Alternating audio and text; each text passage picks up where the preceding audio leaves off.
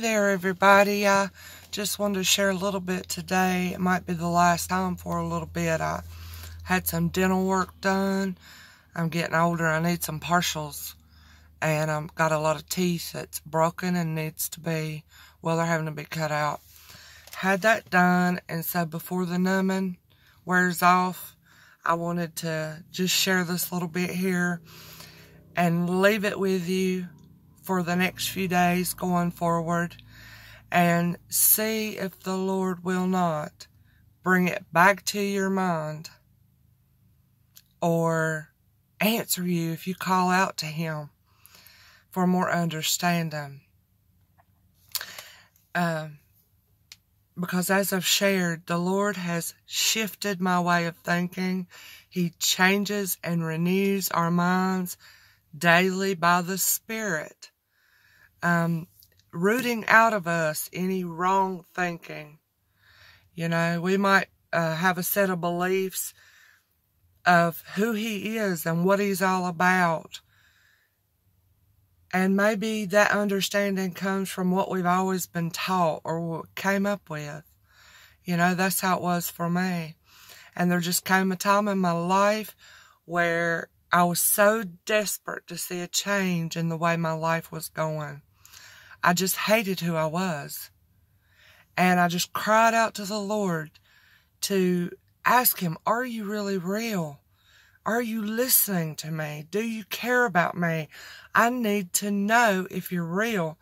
And I don't want to depend on what I've always heard, what everybody else has said about you. I want you to show me yourself.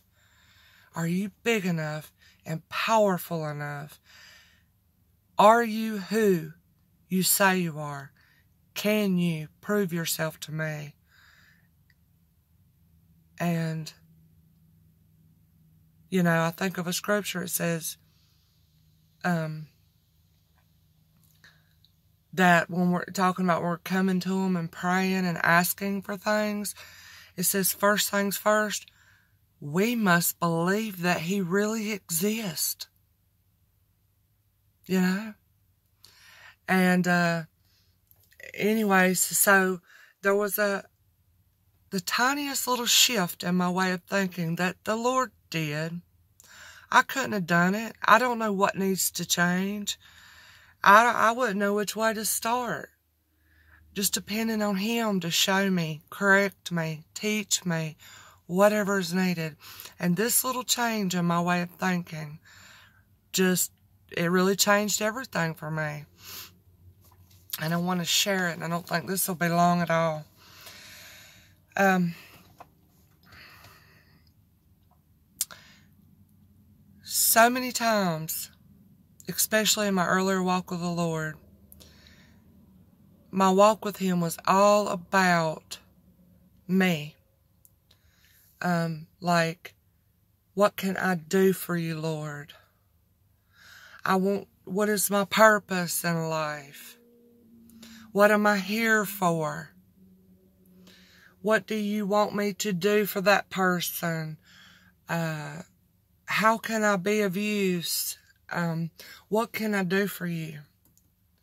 And that's normal. That somebody else might think that way too. And like I said, that's how I thought. But really, the better question is, Lord, what are you doing? What are you doing for me? What do you want to teach me today? What are you thinking about? What matters most to you? He has all wisdom. He's the creator of everything. We must seek to search for Him, remember, with all of our heart, to see what's on His mind, to see what He is doing in this world today, rather than what we can go and do. Because rather than it starting with us and say, here's the Lord, just as example, Lord, what can I do for you? What do you want me to do? It's more, Lord, what do you want to do through me today?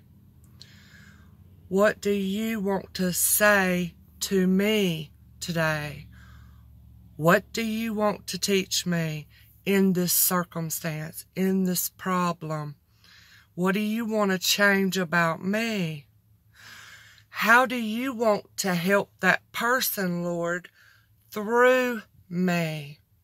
I am a vessel unto the Lord. How do you want to work through me to help that person or encourage that person? See, it doesn't start with us. We are not the source of wisdom or encouragement or good things for anybody. It is the Lord working through us to help people. Does that make sense?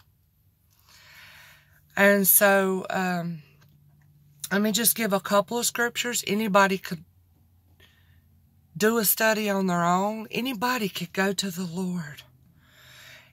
You know, you can do that yourself. Go to the Lord and pour out your heart to him like I did. Lord, I don't know what this is all about. I, I know what I've always been told and what I've always been taught, but Lord, I want to start over from scratch. I want you to teach me who you are. I want you to show me what these words in the Bible mean. I want you to give me understanding, you know, and little by little, it takes time. That is what he began to do. Just like so many people we can find in the Bible, and Jesus himself said, You know, I only speak what he tells me to speak, I only do what he tells me to do. That is what we're learning to do. What he wants to do in this world today through us. And if he chooses to work through us, what a blessing. What an honor. But none of these good things, none of, uh, no sound teaching or insight or wisdom begins with us. It would be the Lord granting that through a person. You see, all good things come from Him. And so, uh, let me just point out a couple here. It says, well, uh, you can read all these in context and everything, but Psalm 94, I think it's 10, forgive me if not, tells us that he teaches us. Isaiah 48, 17, Thus says the Lord your Redeemer, the Holy One of Israel. Excuse me. I am the Lord your God who teaches you for your benefit who directs you in the way you should go. He's teaching us for our benefit. There is nothing. What in this world could we do for him really? There's scriptures that says if I needed something, I wouldn't even tell you. He said, what do I really need? He said, everything belongs to me. Everything was created for me and by me. I am here to teach you about me, to let you know about who I am. Get to know me. I've got many things I want to show you, Misty, and teach you, Misty. Isn't that amazing? We got so much to learn. Acts 17:25 Human hands cannot serve him as if he needed anything for he himself gives life and breath to everything.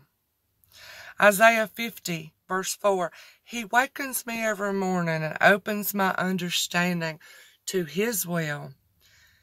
He makes me to listen as a disciple, as a child, like Mary sitting at His feet, listening to Him listening for him, becoming more familiar with how He speaks to us in our daily lives, directing us in which way to go, learning about Him, knowledge of God, getting to know this wonderful, amazing Father that we have. We are the students. We're the disciples. He's the teacher. You know? And that shift really helped me. So rather than going out and wanting to do, do, do, do, it became more of just sitting still and, you know, finding out what you're doing. Which way do you want me to go? What do you want me to say? You know, we kind of get it backwards. He got down and served and washed the disciples' feet. He is doing for us. And as we learn this more and more, He then works through us to go and serve others. It's a beautiful thing. Exodus 4:12 he told Moses, "Now go and I will help you as you speak. I will teach you what to say." That's just a very few little scriptures. So, as I take a little break here, I pray that anybody that that might speak to, to just go and put yourself before the Lord. Lord, here I am, knowing nothing. The more that I do know, that is so true. I realize the less I really know about you. You are so magnificent in all your ways, beyond my comprehension. Amazing. And I just want you to teach me, Lord. I want you to train me. I want you to change the way I think. I want you to do your work. I am the clay. You are the potter. Have your way with me, Lord. If you need to break me, break me. Put me back together, Lord, to have a heart only for you. The rest of my days here on this earth. Help me to know and recognize you throughout my daily life. Help me to hear you, Lord, and recognize your voice more. That I might become a, a clear vessel. Less and less of me and more and more of you working through me to serve and love others as myself the greatest commander, is. So, I hope that can help somebody to think about. Take it to the Lord for yourself. And I do ask the Lord to bring it to anybody's mind in the days going forward that He wants to teach us. We can't teach Him anything. He's the source. All right? We're the beneficiaries of that source flowing out, that river of life. He wants us to drink of Him you know. So I'll talk to y'all soon. Take care. Bye bye.